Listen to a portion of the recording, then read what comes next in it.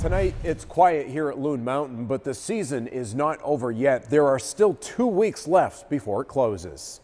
There isn't much snow left in New Hampshire. Loon Mountain is holding on to what remains. Mother Nature dropped the ball, but our snowmakers picked up the slack. Snowmaking has stopped, but more than half of its trails are still open, bringing many families north on Easter Sunday.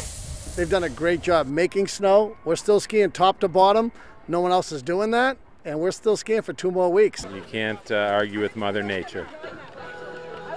It is what it is. You know, we made the best of it. We had a great time. We love the skiing. Overall, it's been a challenging season. Loon says business has been less than average this year, but the mountain has fared better than others. We're pretty lucky. We have uh, an incredible snowmaking system, and, and that's allowed us to open up more terrain than pretty much any resort in the state for the entire winter. Our ski areas were pumping out the white stuff every opportunity they could get, and it, allowed us to have a season. It allowed us to bring visitors to the state and contribute to the economy. Ski New Hampshire, which works with resorts to promote the sport, is still collecting attendance data from ski areas. It's expecting a lower turnout compared to recent winters. A year like this is going to be hard on pretty much everyone on some level, some more than others.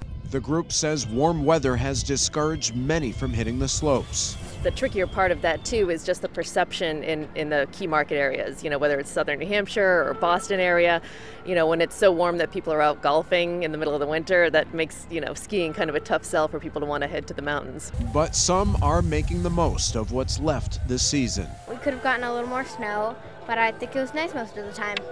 And over the next two weekends, Loon has a couple of spring events like a pond skimming contest to draw in more skiers. The mountain closes on April 10th. In Lincoln, Mike Cronin, WMUR News 9.